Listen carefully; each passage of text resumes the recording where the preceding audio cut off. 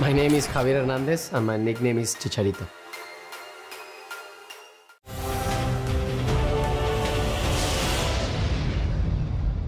Alright guys, Dominic here for KitGuru, and today we are checking out ray tracing and DLSS in Doom Eternal. That's right, despite the game launching well over a year ago now, it has taken until this week for the game's RTX patch to arrive. So, in this video, we're going to be finding out just how well AMD and Nvidia's current generation of GPUs perform when enabling those ray traced reflections. We'll also take a look at the differences made to image quality with both the ray tracing and DLSS modes. To do that, we're using our regular GPU test system provided to us by PCSpecialist. This is built around the Intel i9 10900K overclocked to 5.1 GHz on all cores, and that is paired with the Asus ROG Maximus 12 Hero motherboard. We also have 32GB of Corsair Vengeance DDR4 memory clocked at 3600 MHz. Before diving into the performance, it is also worth pointing out that in the settings menu, there's only a simple on-off toggle for the ray tracing, unlike Cyberpunk and Control for instance, where you have different quality settings. In Doom Eternal, it's only ray trace reflections, so we have a simple on-off toggle. Additionally, due to VRAM limitations with 8GB GPUs when running at 4K, as well as ray tracing, for our testing today, at 1080p and 1440p, we're using the stock Ultra Nightmare preset.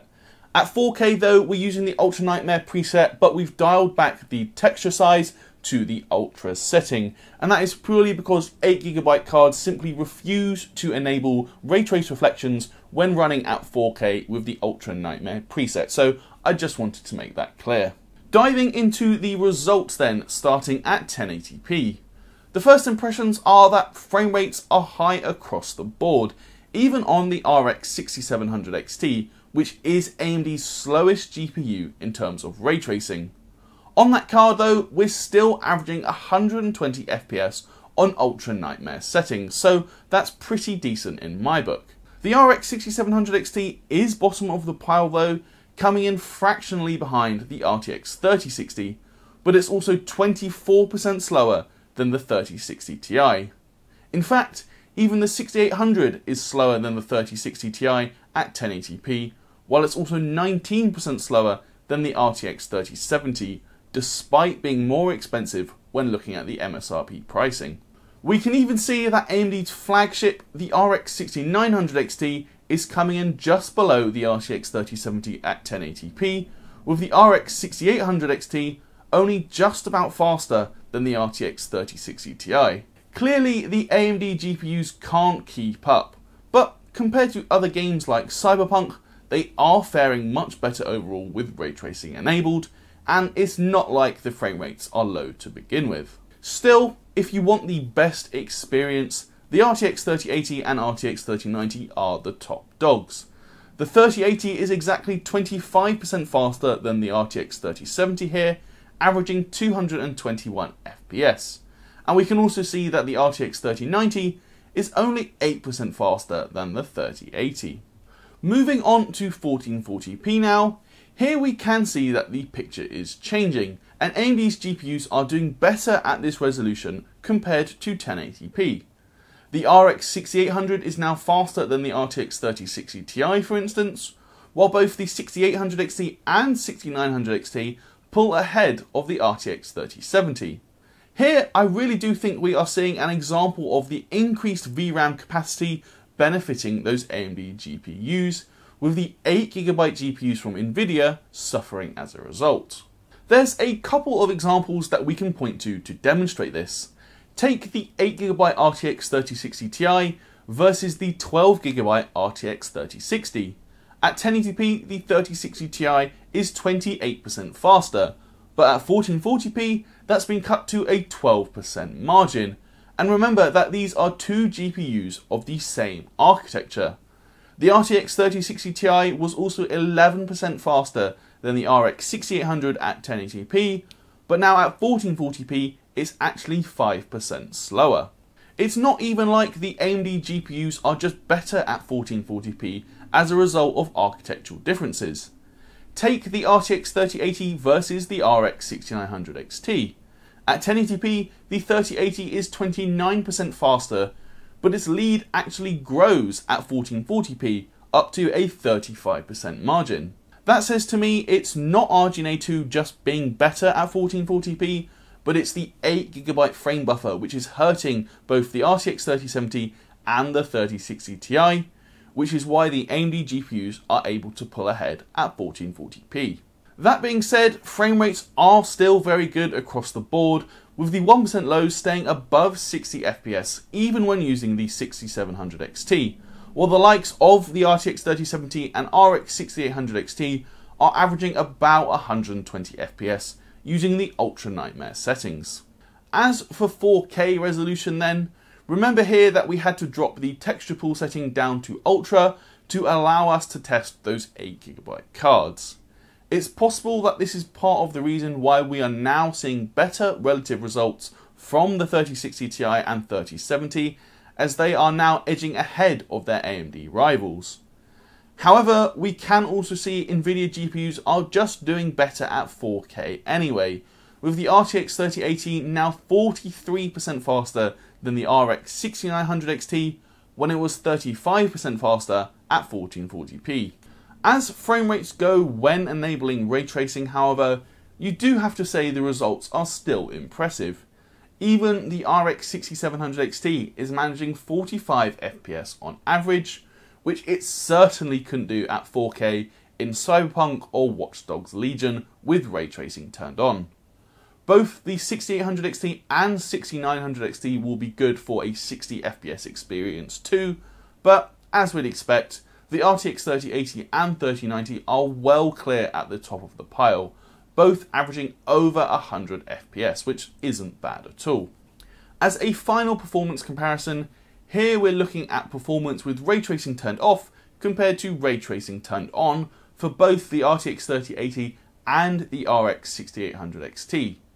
While the AMD GPU is still managing over 120 FPS at 1440p with ray tracing enabled, it is losing more performance by enabling the ray tracing.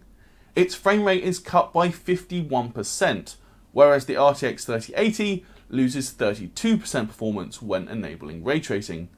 To be clear, that is still a pretty significant hit to frame rate, but we can clearly see that ray tracing has a bigger impact on the 6800 XT. Yeah, yeah, That's going to do it for our performance data then, but is the ray tracing worth enabling to begin with? Jumping into the side-by-side -side comparisons then, it's worth remembering that the game only has ray trace reflections, so we're not going to see a difference in the shadows or with the global illumination. With that said, I think your views on the ray tracing in Doom Eternal will vary based on your feeling of the technology as a whole. Personally, I've actually come around to ray tracing and quite like the extra dynamism I feel it adds to the environment, particularly with the large number of metallic and glossy surfaces in this game. That said, there are several occasions where the difference is quite subtle, and for such a fast paced shooter, you may well feel it's not worth bothering with. It is definitely cool to be able to see the Doomslayer reflected in different glass surfaces though, and like I said, I do feel the reflections make the scene feel more dynamic and a little bit less flat overall. So personally, I would play with the reflections enabled, particularly as frame rates are very high to begin with, so you're still getting great performance even after enabling the ray tracing. Of course, DLSS was also added as part of this RTX patch, with quality, balance and performance options. Sticking with quality mode at 4K, here the results are hugely impressive, as we have come to expect from the technology. It is also worth pointing out that I used the DLSS 2.2.6 DLL file from Rainbow Six Siege for my testing, and it really is a struggle to spot differences compared to native 4K. In this outdoor scene, we can even see DLSS is able to resolve some fine detail that went missing at native 4K, as seen when looking at the spires on the left hand side building.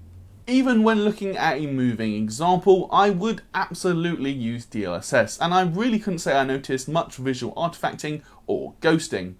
I'm not too sensitive to that sort of stuff to begin with, But like I said, with the 2.2.6 DLL, it really is very impressive from a visual perspective. That being said, we didn't see huge gains from enabling DLSS quality mode. On our RTX 3060 Ti for instance, frame rates increased by about 30% at 1440p and 4K. Of course that is still absolutely great, but you don't get as much of a boost as you would in Cyberpunk for instance, and that's simply because the frame rates are that much higher to begin with in Doom Eternal. So then, that really is going to do it for our look at ray tracing and DLSS in Doom Eternal. Whether or not you want to enable those ray trace reflections really is going to be up to you and your personal preference. The thing I would say though is Doom Eternal is a great game to give it a try, simply because the performance was superb to begin with. That means even if you're taking a 40% hit to performance, chances are you're still going to be getting a very smooth experience with those ray trace reflections turned on. That goes for both Nvidia and AMD GPUs. While the RDNA 2 cards we tested did see a bigger performance hit when compared to their Ampere rivals, I still would say that Doom Eternal is one of the better examples of ray tracing running on an AMD GPU. Take the RX 6800 for instance, at 1440p using the Ultra Nightmare preset with ray trace reflections, that GPU was still able to average over 100 FPS. And I know you wouldn't be getting anywhere near that level of performance in the likes of Cyberpunk and Watch Dogs Legion. So that really is going to do it for this video. If you liked it, please do toss me a thumbs up, but as always, let me know your thoughts in the comments. If you've already tried out Doom Eternal with ray tracing enabled, let me know what you think of it.